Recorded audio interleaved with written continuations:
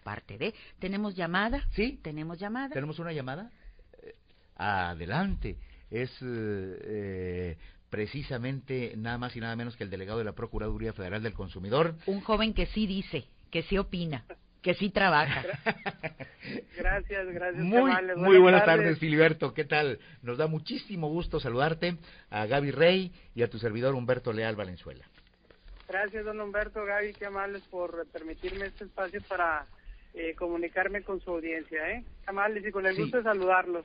Eh, Filiberto, pues está haciendo nota el día de hoy en este programa y en estos programas de Radio Net 1060, porque fíjate que eh, hemos estado transmitiendo que el pasado fin de semana inspectores de la Subdelegación Juárez de la Procuraduría Federal del Consumidor que realizaron operativos en restaurantes, en restaurantes, bares, en billares y todo esto con el objetivo de detectar irregularidades eh, que se cometen pues con los consumidores.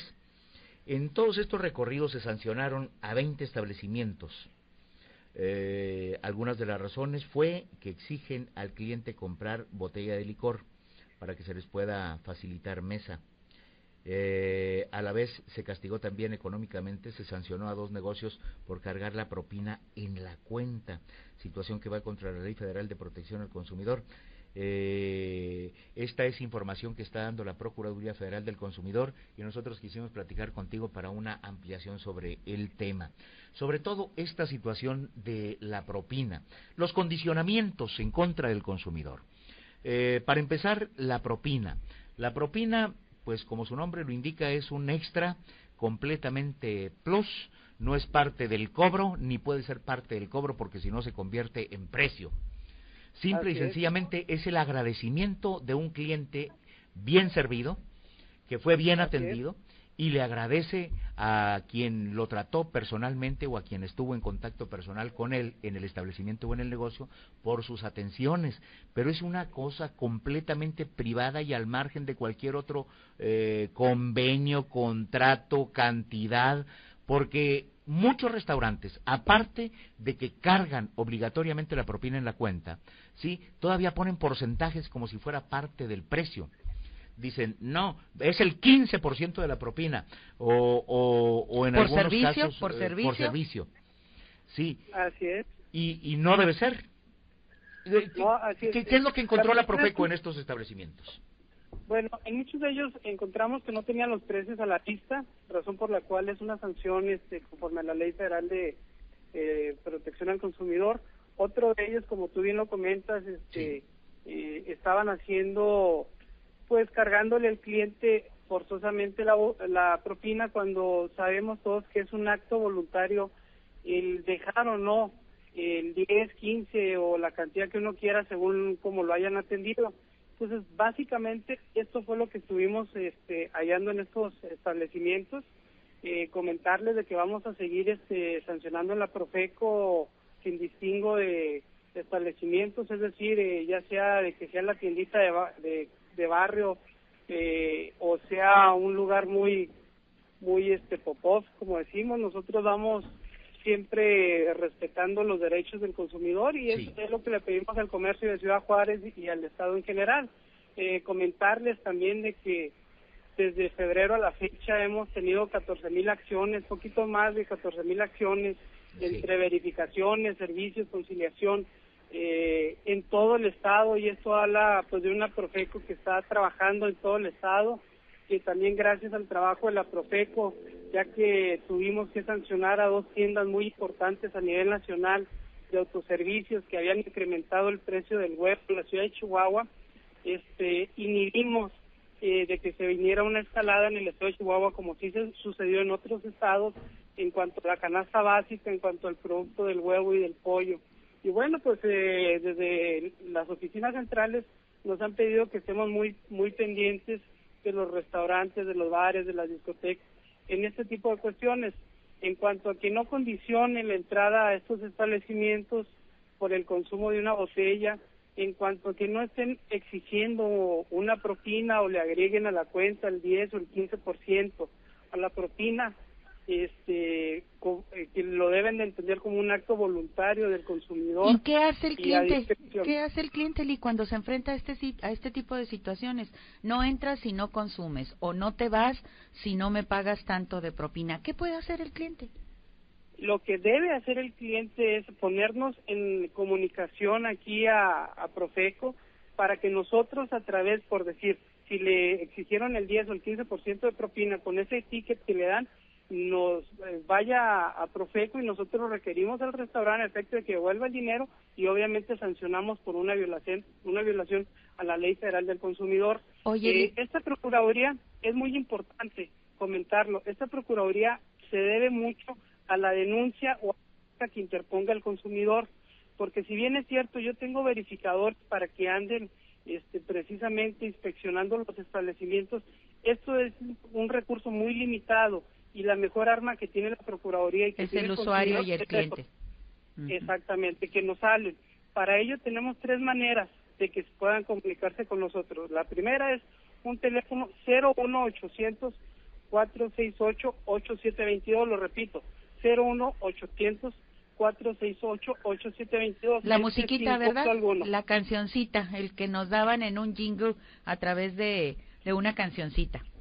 Exactamente, este es sin costo para el consumidor, para el público en general. Otra vía que tenemos, que yo sé que no toda la gente tiene acceso a, ella, pero bueno, es una vía también de, estar en comunicación, es precisamente la página de internet, que es www.profeco.gov.mx. Repito, www.profeco.gov.mx, donde inclusive yo quiero comentarles que en esta página tenemos cuestiones novedosas como quiénes tienen los precios y la calidad. Sobre eso te iba a decir, ¿existirá por ahí una lista negra?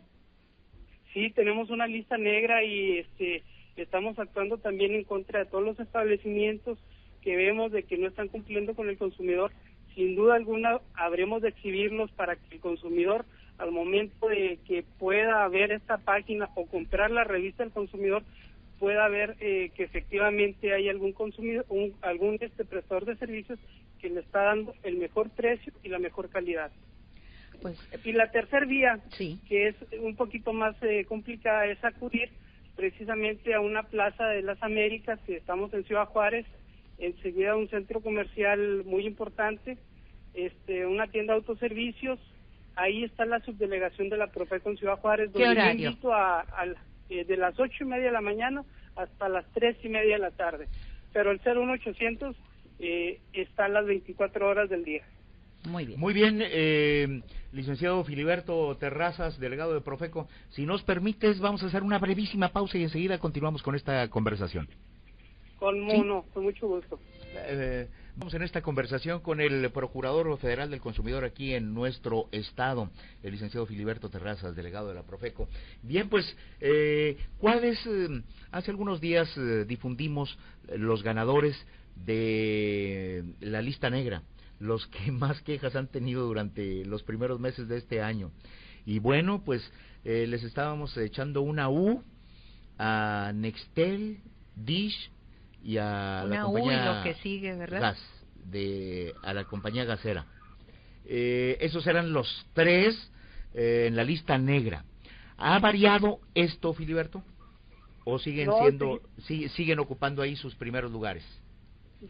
desafortunadamente, este, ahora que está muy de moda las tecnologías y la comunicación que se ha vuelto una necesidad, hemos visto de que empresas siguen abusando, este, de los consumidores e inclusive hemos detectado de que precisamente en esta compañía Nextel este, se estaban haciendo contratos sin verificar la identidad del consumidor. Esto está ocasionando problemas porque parece ser de que según la compañía Nextel estaban robando identidades y con esas identidades estaban este, sacando aparatos y línea de, de radiocomunicación, razón por la cual nosotros eh, vamos a darle vista a las autoridades competentes que viene siendo precisamente la PGR a efecto de que eh, investiguen si existe o no los elementos que puedan tipificar algún delito. Eso es, el robo de identidad, ¿verdad? Que es una de las situaciones tan preocupantes en estos tiempos. Estaba leyendo alguna información de la Ciudad de México que, se están eh, comercializando de manera pública y abierta completamente, por ejemplo, el padrón electoral perfectamente actualizado. Creo que lo tienen más actualizado ellos, los piratas, que el mismo Instituto Federal Electoral. ¿eh?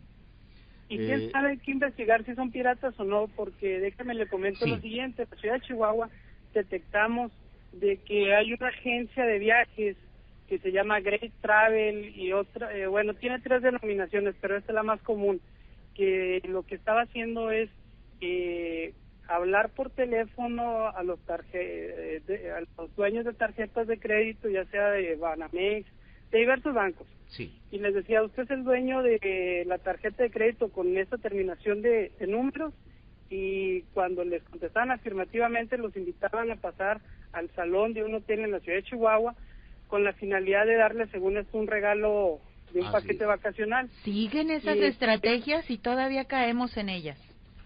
Así es. Entonces, eh, empezamos nosotros a detectar bastantes quejas en ese sentido de que les habían dado un teléfono 01800 y que las habían cargado a través de un voucher diversas cantidades que oscilan entre los dos mil hasta los cien mil pesos. Lanzo yo una alerta a la sociedad de Ciudad Juárez para que no vayan a caer en lo mismo.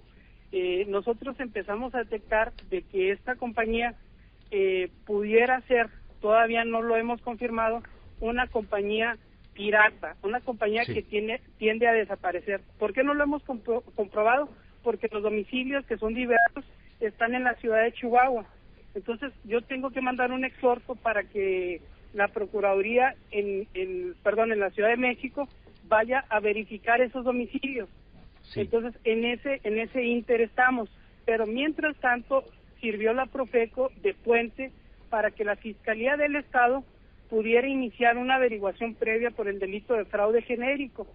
Eh, nosotros no estamos perdiendo el tiempo. Cuando estamos viendo este tipo de situaciones, los estamos canalizando directamente con las autoridades correspondientes a efecto de que vayamos las dos autoridades, tanto la federal como la estatal, o, la, o las procuradurías, vayamos avanzando en beneficio del consumidor.